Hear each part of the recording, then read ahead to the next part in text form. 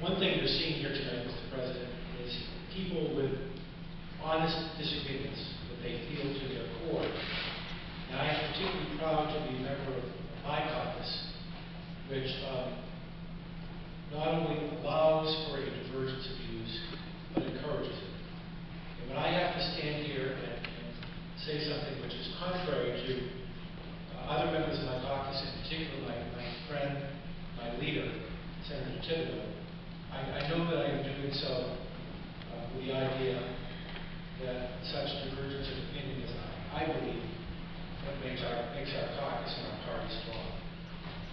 I come to this vote, Mr. President, having spent two years on the Appropriations Committee, and having gone through that remarkable experience, where you're dealing with 13 people who are chosen, I think, to represent a wide spectrum of views, from the most conservative to the, to the most liberal, if I can only simplify.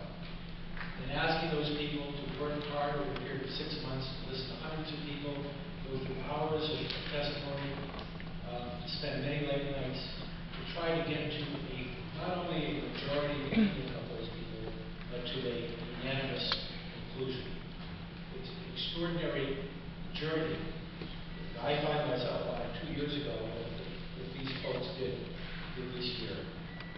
And when- when you're delegated that responsibility by the other 106 of us, you have to take it very seriously. You have to give up some things that you think are important.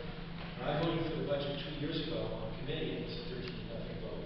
There were parts of it I had to hold my nose to, because I knew that that was the only way we were going to get to a budget which could gain the acceptance of two-thirds of the people there. And that's what I think folks sent us here to do, is to, is to listen and to compromise and to come to consensus. And that's what's happened here. It's not easy to get to two, thirteen nothing. It's certainly not easy to get to two-thirds. There are things in this budget I have a problem with. I won't go through the list of them. But I know that if you ask all 186 of us, we each spend five minutes at least talking about the things we we don't like. But I will vote this budget. We've delegated to this incredible group of 13 people. Three of them are in this body. Senator Hill, Senator Kane, and Senator White. I don't think you could have chosen any as well as the other ones. We have delegated to them our trust to, to take our heartfelt principles we hold as Republicans and Democrats, to not lose sight of those, but to go and try to work together and negotiate the best agreement that's possible. I think that they have done a remarkable job. I think from my perspective, we we owe them that trust and that respect for the work that they have done.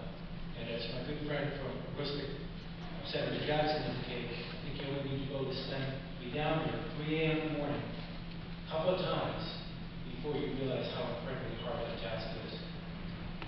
Some, Mr. President, would cast this vote as a, as a decision on whether we should raise taxes or whether whether we shouldn't raise taxes. I, I really don't see it that way.